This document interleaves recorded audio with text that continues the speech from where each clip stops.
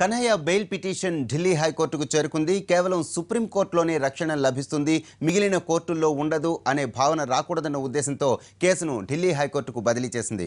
కన్హయ్య తరపున వాదించే లాయర్కు రక్షణ కల్పించాలని కేంద్రంతో పాటు ఢిల్లీ పోలీసులను ఆదేశించింది. మరోవైపు ఈ ఘటనలపై విచారణ జరిపిన జాతీయ మానవ హక్కుల బృందం కన్హయ్యపై ఉద్దేశపూర్వకంగానే దాడి జరిగిందని అభిప్రాయపడింది.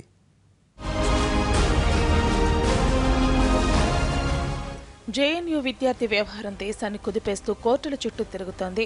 మొదట ఢిల్లీలోని పాటియాలా హౌస్ కోర్టులో ఘర్షణలతో మొదలై సుప్రీంకోర్టుకు వెళ్ళి ఇప్పుడు ఢిల్లీ హైకోర్టుకు చేరింది.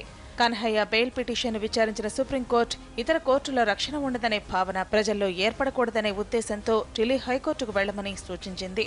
తాము విచారణ జరిపితే ఇక మీదట అందరూ నేరుగా సుప్రీంకోర్టుని ఆశ్రయిస్తారని వ్యాఖ్యానించింది.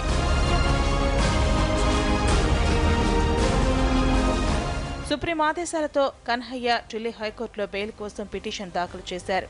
అయితే ఆ పిటిషన్ సాంకేతిక కారణాల వల్ల విచారణకు రాలేదు. సోమవారం కన్హయ్య బెయిల్ పిటిషన్పై విచారణ జరిగే అవకాశం ఉంది.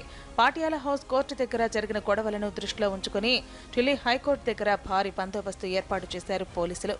మరోవైపు పాటియాలా హౌస్ కోర్టు దగ్గర కన్హయ్యపై జరిగిన దాడి ఉద్దేశపూర్వకమైనదేనని ముందస్తు వ్యూహం ప్రకారమే జరిగిందని అభిప్రాయపడింది జాతీయ మానవ హక్కుల సంఘం. కన్హయ్యపై పోలీసులు పెట్టిన కేసుపై విచారణ జరుపుతున్న జాతీయ మానవ హక్కుల సంఘం ఈ ఘటనను తీవ్రమైన భద్రతా వైఫల్యంగా పేర్కొంది.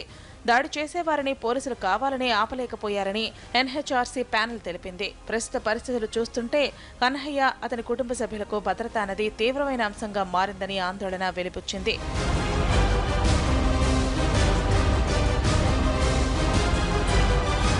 మరోవైపు కన్హయ్యకు మద్దతుగా వ్యతిరేకంగా ఆందోళనలు కొనసాగుతూనే ఉన్నాయి. కన్హయ్య కుమార్కు మద్దతుగా వామపక్ష కాంగ్రెస్ అనుబంధ విద్యార్థి సంఘాలు దేశవ్యాప్తంగా ఆందోళనలు నిర్వహిస్తున్నాయి. పాట్నాలో ఏఐఎస్ఎఫ్ రైల్ రోకో చేసింది. విద్యార్థుల మీద కేసులు రద్దు చేయాలని డిమాండ్ చేశారు ఆందోళనకారులు. హైదరాబాద్లో రాజ్భవన్ ముట్టడికి ప్రయత్నించిన నేతలను పోలీసులు అడ్డుకున్నారు. చెన్నైలోనూ విద్యార్థి సంఘాలు రోడ్డెక్కాయి కేంద్ర ప్రభుత్వానికి వ్యతిరేకంగా ఆందోళన నిర్వహించాయి. ఇటు కన్హయ్యపై దాడి చేశారనే అభియోగాలను ఎదుర్కొంటున్న తమ సహచరులకు మద్దతుగా లాయర్లు కూడా reality ser